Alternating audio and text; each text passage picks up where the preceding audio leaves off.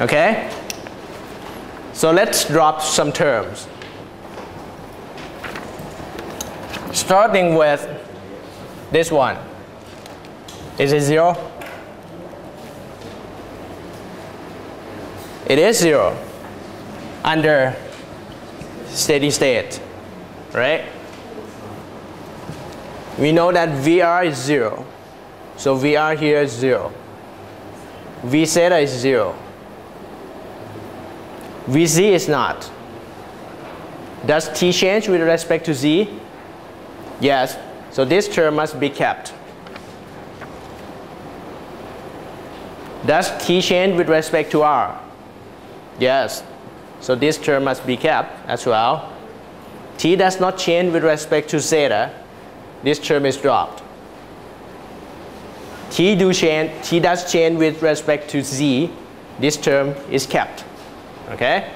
Then for this term, if you assume that the flow is not fast enough for viscous heat, you can drop the whole term. You don't need to worry about this anymore. Okay? But if you do not sure, if you are not sure whether or not we should drop this term, just keep it for the moment. Just keep it for fun. Okay? So look at this heat dissipation or energy dissipation term. VR is zero. Zeta is zero. R here is zero. Okay? VC does not change with respect to Z. The whole term is zero. VZ is zero.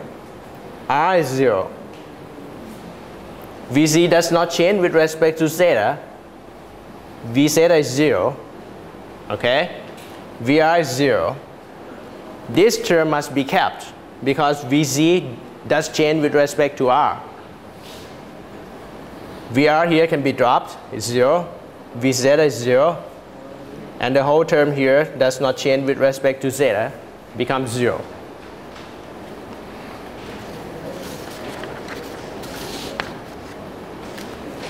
All right? So as a result, if I plug the whole energy dissipation term back to the first equation, what you have would be something like this.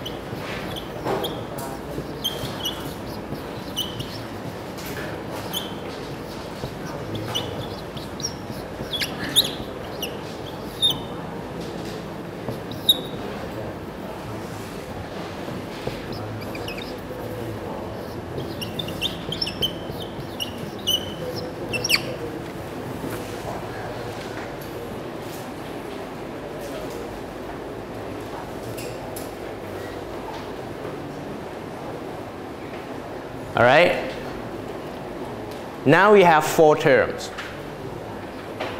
And the equation itself is too complicated to be solved. So among these four terms, which term can be neglected? So starting from that equation up to here, everything is absolutely right, 100% correct. Okay? But up to this point, it is too much for our ability to solve. So from here down there, you need assumption. So the correctness of your solution is decreased to trade off with how to come up with the solution. So we need to start dropping terms under some assumptions. Which term among these four can be further dropped?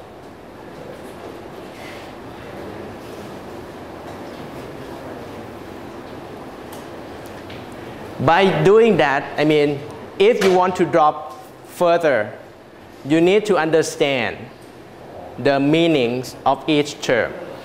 Okay? What does it mean for this term? What does this term mean?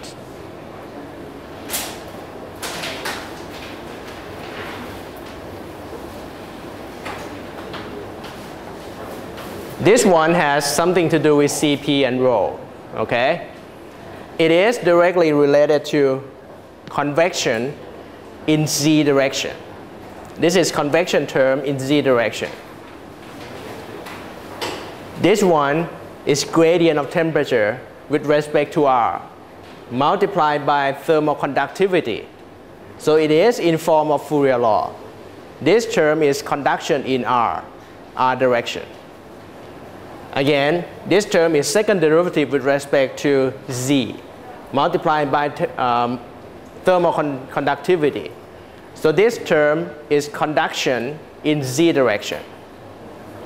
And then this term is viscous heat. All right?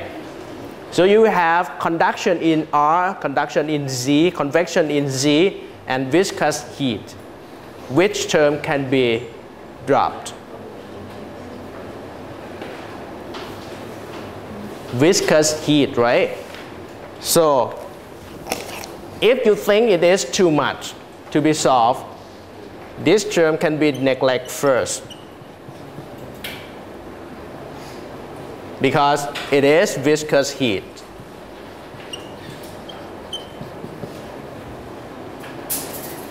So you have three terms left.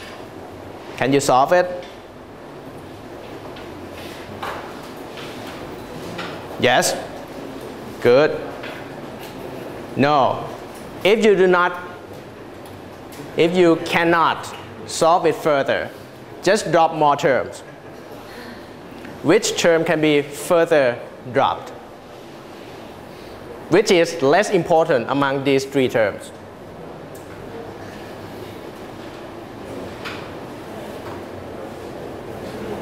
Now it's the matter of direction. You have R direction and Z direction. In R, we have only one kind of mechanism, conduction. In Z, you have two kinds of mechanism, conduction and convection.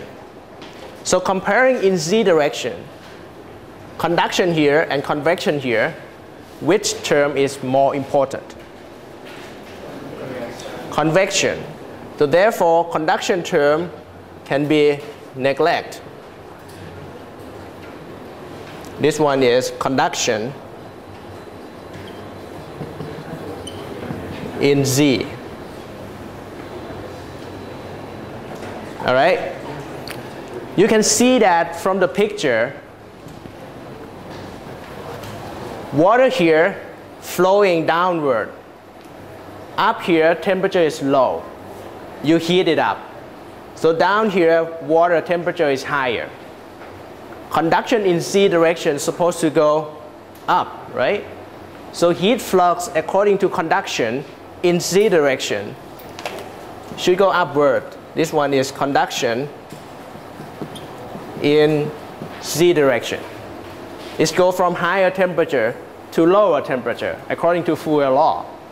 But you can always see that, of course, convection in this direction, convection would go along the flow convection would go downward. This is convection.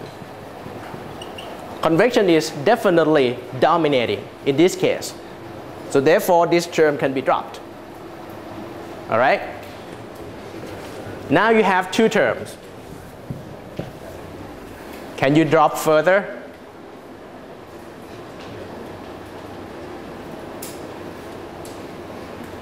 Now you cannot. Okay? you have to try to somehow come up with solution with this. All right? And for the examination, this is too much. This is too much for examination. If I'm going to give this kind of problem for examination, I'm going to ask you to just stop here and then identify boundary conditions. What would be boundary condition in our case here? How many boundary conditions do we need? We have only this part of the equation. How many boundary conditions? Three. One with respect to z, two with respect to r. Okay? So our boundary condition, the first one at z equal to 0, any r, you have T equal to input temperature, T0. Then two more boundary conditions with respect to R. So at R equal to capital R, any Z, what do we have? Q is constant. So Q here should equal to minus K dt by dr at r equal to r here is equal to constant flux q0. Okay? Third one at r equal to 0, right? You don't have any other choice. Either at the rim or in the center. At the center here at r equal to 0, any z, what do we have?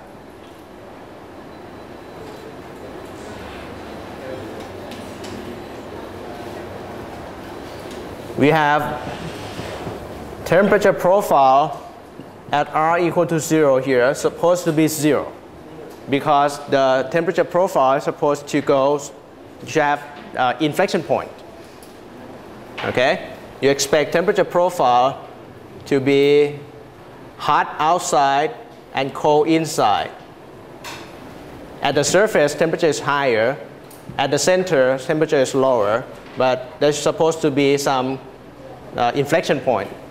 Here, differential of temperature with respect to R becomes zero. Okay? Any question?